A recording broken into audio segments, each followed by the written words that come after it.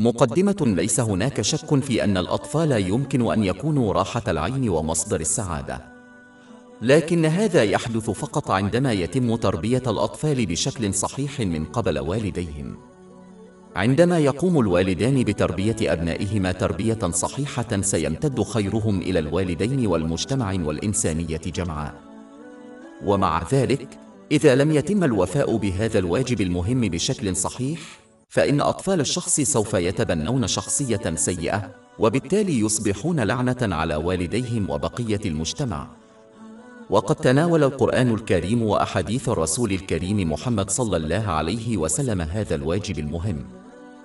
على سبيل المثال سورة التحريم الآية 6 يا أيها الذين آمنوا قوا أنفسكم وأهليكم نارا.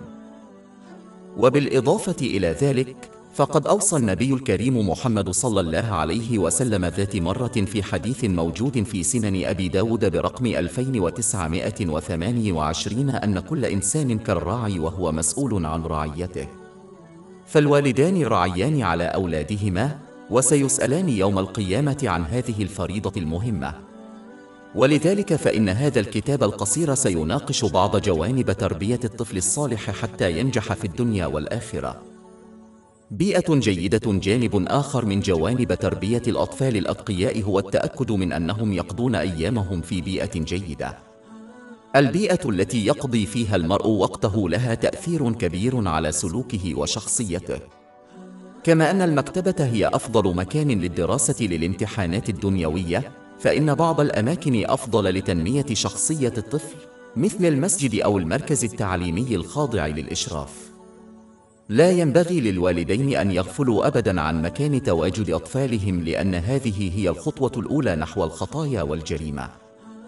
تقديم المشورة على انفراد جانب آخر من جوانب تربية الأطفال الأتقياء هو عدم توبيخهم علنا. ومن الأفضل القيام بذلك على انفراد لأن الطفل قد يشعر بالحرج عندما يتم ذلك أمام الآخرين بما في ذلك إخوته. إن الحرج والغضب صفتان يمكن أن تمنع الإنسان وخاصة الطفل من قبول النصيحة الجيدة. يحدث كلاهما غالبا عندما يتم توبيخ الشخص علنا. تجنب الكسل يجب على الآباء ألا يشجعوا أطفالهم على الكسل.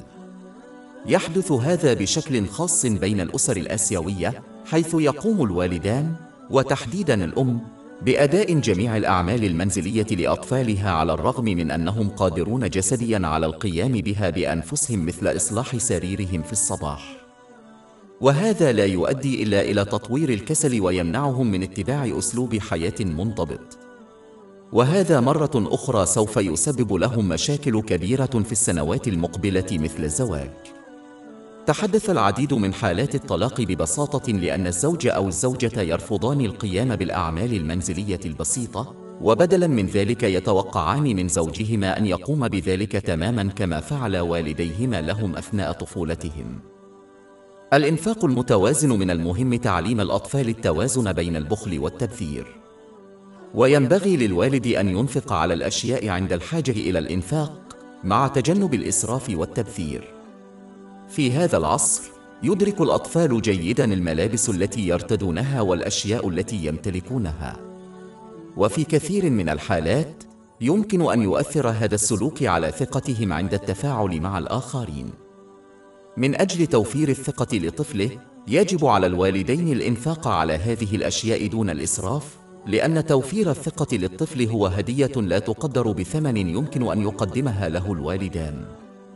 من المهم ملاحظة أن هذا لا يعني أنه يجب إفساد الطفل لأن ذلك قد يؤدي إلى سمات سلبية أخرى مثل الكبرياء. لا ينبغي تلبية جميع طلبات الأطفال، بل يجب تلبية الطلبات المعقولة التي تكون ضمن الحدود بشكل خاص في المناسبات الخاصة أو لتشجيعهم على العمل بجدية أكبر. إن إظهار هذا التوازن عمليا لأطفالك هو وسيلة ممتازة لهم لتبني هذا النهج المتوازن عندما يكبرون. أن تكون حازما على القواعد الجيدة أحد جوانب تربية الأبناء الأتقياء هو أن يظل الآباء ثابتين على القواعد الراسخة والقرارات الصحيحة التي اتخذوها. إن الضغط الذي يستسلم به الوالدين دائما لأطفالهم لا يؤدي إلا إلى إفسادهم ويمنعهم من أخذ ما يقوله آباؤهم وقراراتهم على محمل الجد. وهذا لا يعني أنه لا ينبغي عليهم تغيير اتجاههم عندما يخطئون، ولكن يعني أنه عندما يتم اتخاذ القرار الصحيح يجب عليهم الثبات عليه. شيدينج باستمرار جانب آخر من جوانب تربية الأبناء الصالحين هو أن لا ينتقد الوالد طفله في كل أمر وخاصة التافه منه. ومن الأفضل انتقادهم أولاً في أمور أكثر أهمية مثل الكذب. إذا رغب أحد الوالدين في الانتقاد بشأن أمور صغيرة، فيجب أن يفعل ذلك بلطف، لأن الأمور الصغيرة لا تحتاج إلى التعامل معها بقسوة. الانضباط باعتدال في بعض الحالات يلزم معاقبة الأطفال من أجل تنمية الشخصية الجيدة.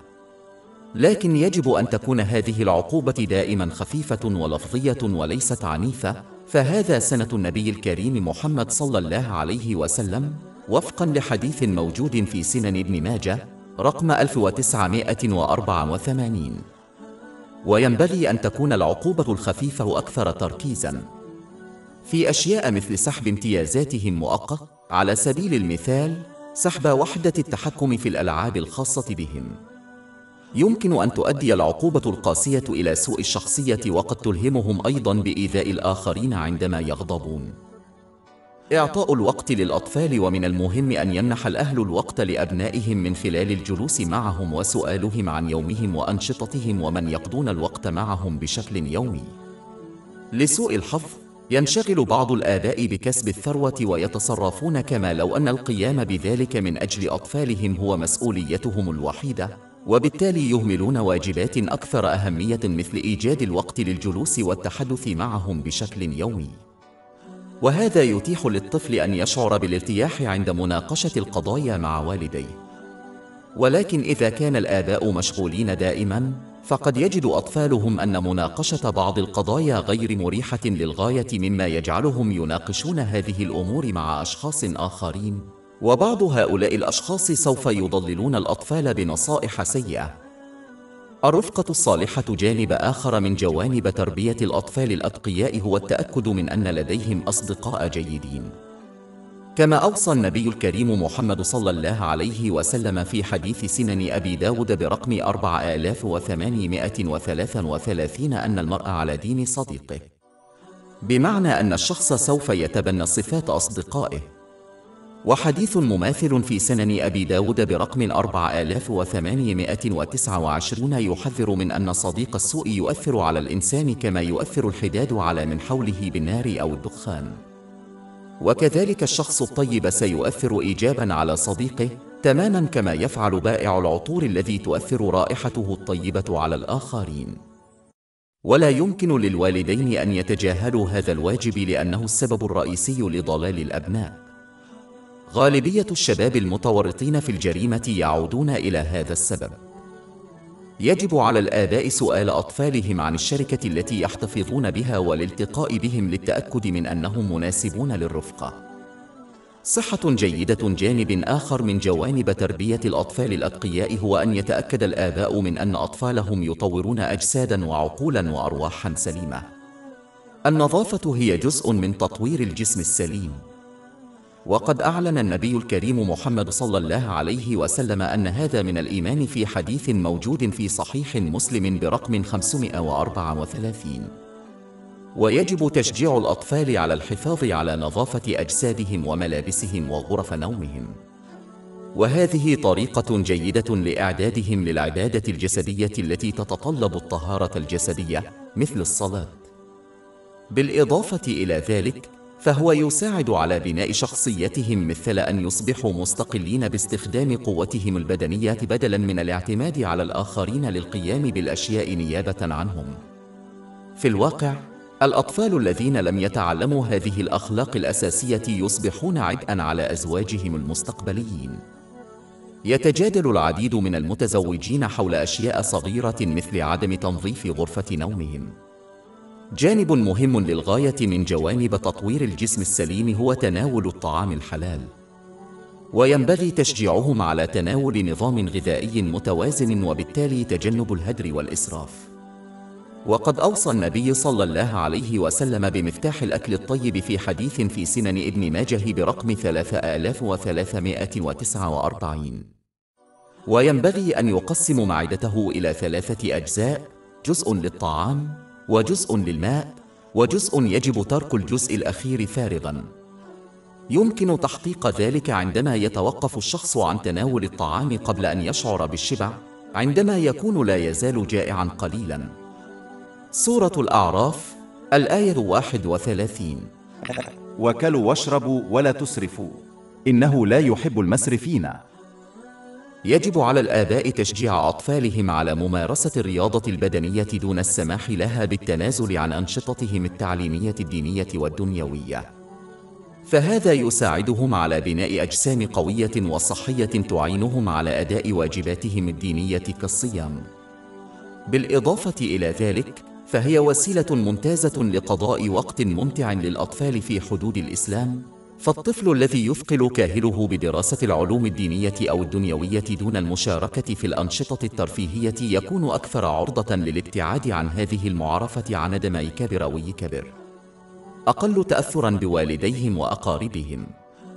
من المهم أن نبين للأطفال أن الإسلام دين بسيط وقد نصح به حديث موجود في الأدب المفرد للأئمة البخاري رقم 287. دين بسيط يسمح للشخص بالاستمتاع بملذات الدنيا المشروعة في الاعتدال ويرشدهم إلى الجنة في العالم الآخر. استقلال جانب آخر من جوانب تربية الأطفال الأتقياء هو عدم المبالغة في حماية الطفل. على الرغم من أن هذا خطأ نادر يرتكبه الآباء في الوقت الحاضر، إلا أن إبقاء الأطفال تحت القفل والمفتاح من أجل سلامتهم يمكن أن يمنعهم من تبني الخصائص التي تشجعهم على الاستقلال. إن النهج المتوازن هو الأفضل عندما تتم مراقبة الطفل بأمان دون إعاقة نمو شخصيته. إهانة الأطفال من المهم عدم التقليل من شأن الأطفال عندما يرتكبون الأخطاء لأن ذلك لن يؤدي إلا إلى تبنيهم لخصائص مماثلة وفي بعض الحالات سيضر بثقتهم بأنفسهم. الثقة هي السمة الأساسية المطلوبة للنجاح. يعد قضاء وقت ممتع مع الأطفال أمرا مهما من وقت لآخر، ولكن لا ينبغي على الوالدين أن يسخروا من الأطفال كثيرا. الاستثناء الوحيد هو عندما يعلم المرء أن الطفل لن يأخذ الأمر على محمل الجد. العطف ومن جوانب تربية الأطفال بالطريقة الصحيحة تشجيعهم باستمرار على السلوك الجيد بأسلوب محبب. في معظم الحالات، لن يؤدي العدوان إلا إلى دفع الطفل بعيدًا عما يرغب فيه الوالد. كما جاء في الحديث الموجود في صحيح مسلم برقم 6601 أن الله تعالى يفضل الرفق في الأمر كله. وبالتالي فإن الأسرة ستكون أكثر مباركة عندما يعاملون بعضهم البعض بلطف. في حالات نادرة فقط يجب استخدام العدوان ولكن حتى في هذه الحالة يجب السيطرة عليه واستخدامه فقط بنبرة الوالدين وليس أفعالهم الجسدية. وهذا مشابه لمعاقبة الطفل ضمن الحدود عندما لا يساعد إظهار اللطف مثل تأريض الطفل. ولكن في أغلب الأحوال يفضل اللطف ويجب إظهاره بالقول والأفعال مثل مكافأة الأطفال الذين أحسنوا التصرف بالهدايا. إن تقديم الهدايا بدون سبب يمكن أن يفسد الأطفال، لكن مكافأتهم على الأداء الجيد في المدرسة على سبيل المثال يعد جانبا مهما في تربية الأطفال الأتقياء. القيادة بالقدوة الجانب التالي من تربية الأبناء الأتقياء هو أن يكون أحد الوالدين قدوة حسنة. يرغب جميع الآباء في أن يكون أطفالهم تقين، لكن هذا من غير المرجح أن يحدث إذا كان لديهم أخلاق سيئة. كثيرا ما يشتكي العديد من الآباء عندما يكون أطفالهم من عدم أداء الصلوات المفروضة. وفي كثير من الحالات لا يقيم الوالدان صلواتهما بأنفسهما. إذا كان الأهل لا يضبطون ألسنتهم فكيف يتوقعون من أطفالهم أن يفعلوا ذلك؟ يقلد الأطفال والديهم إذا كان آباؤهم لا يولون سوى القليل من الاحترام لتبني التقوى ففي معظم الحالات كذلك يفعل أطفالهم. لذلك من المهم للوالدين أن يمارسوا ما يعظون به. لا أحد يطالب بالكمال ولكن يجب عليه أن يسعى جاهدا لأداء واجباته بأي ثمن وأن يعمل بأكبر قدر ممكن من أحاديث النبي الكريم محمد صلى الله عليه وسلم. وهذا الموقف الصحيح سوف يشجع أطفالهم على أن يفعلوا الشيء نفسه. تعلم الالتزامات والتقاليد الراسخة يجب على الآباء تعليم أطفالهم الواجبات التي يجب على جميع المسلمين القيام بها والعمل وفقا لأكبر عدد ممكن من أحاديث الرسول الكريم محمد صلى الله عليه وسلم. ولذلك يجب على الآباء أن يجتهدوا في اكتساب المعرفة الإسلامية الصحيحة حتى يتمكنوا من تعليم أبنائهم بشكل صحيح. ويجب عليهم أن ينظموا لمن يعلمهم إذا كانوا هم أنفسهم ما زالوا يتعلمون واجبات الإسلام. لا يمكن للآباء أن يعيشوا في جهل ويأمرون أطفالهم ببساطة باكتساب المعرفة. ليس سرا أن الطفل يقلد والديه. إذا كان أحد الوالدين يفضل الجهل على اكتساب المعرفة فهناك فرصة جيدة لذلك بالنسبة لطفله. إن اكتساب العلم للعمل به وتعليمه للأبناء جانب مهم من جوانب التربية الصحيحة. وهذا أحد أسباب وجوب طلب العلم النافع على جميع المسلمين لحديث موجود في سنن ابن ماجه برقم 224. وببساطة، كيف يمكن للوالد أن يرشد ولده إذا كان جاهلاً؟ هذا مثل المسافر الضائع الذي يرشد المسافرين الضائعين الآخرين. أظهر الاحترام من المهم أن يعامل الآباء بعضهم البعض باحترام خاصة أمام أطفالهم. عندما لا يحترم شخص ما زوجته أمام أطفاله، فإن ذلك لن يؤدي إلا إلى فقدان احترام الأطفال لكلا الوالدين. في الواقع، قد يتبنى الطفل هذا الموقف ولا يحترم الآخرين بنفس الطريقة التي لا يحترم بها والديهم بعضهم البعض. بالإضافة إلى ذلك، يجب على الآباء عدم انتقاد أقاربهم الآخرين أمام أطفالهم لأن ذلك سيؤدي إلى فقدان احترام أطفالهم لأقاربهم. ومن الصعب للغاية الحفاظ على روابط وحقوق الأقارب عندما لا يحترمهم أحد. لسوء الحظ، هذا جانب من جوانب تربية الأطفال الأتقياء غالبا ما يتجاهله الآباء، وخاصة الآباء الآسيويين. بدأت باكرا ومن القاتل أن يتجاهل المرء تربية الأبناء بطريقة جيدة منذ الصغر بينما يعتقد أنهم سيتبنون أخلاقا جيدة عندما يكبرين. يصعب على الأطفال الأكبر سنا تغيير شخصيتهم مقارنة بالأطفال الأصغر سنا. لذلك يجب على الآباء التأكد من تعليمهم وتوجيههم منذ الصغر. ولهذا نصح النبي الكريم محمد صلى الله عليه وسلم المسلمين في حديث موجود في سنن أبي داود برقم 495 أن يحثوا أولادهم على أداء الصلاة قبل أن يبلغوا وتجب عليهم. يمكن ويجب تطبيق هذا الحديث على جميع جوانب حياة الطفل.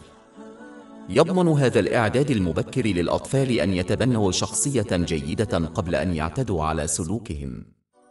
ليس سرا أن تغيير شخصية المرء للأفضل بعد أن يصبح ثابتا على طرقه يعد تحديا صعبا للغاية.